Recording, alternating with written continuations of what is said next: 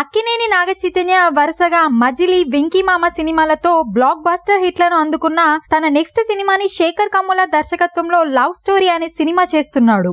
ఈ సినిమాపై అంచనాలు భారీగానే ఉన్నాయి. సాయి పల్లవి నటిస్తుండడంతో నాగచైతన్య కెరీర్లోని బిగ్గెస్ట్ హిట్ అందుకునేలా ఉన్నాడని అనిపిస్తుంది. కరోనా కారణంగా ఆగిపోయిన ఈ చిత్ర షూటింగ్ ఇటీవలే తిరిగి ప్రారంభమైంది. కాగా ఇప్పటికే దాదాపు షూటింగ్ని కంప్లీట్ చేసుకున్న లవ్ స్టోరీ మిగతా చిత్రీకరణ ఈ షెడ్యూల్లో పూర్తి చేస్తారని తెలుస్తుంది.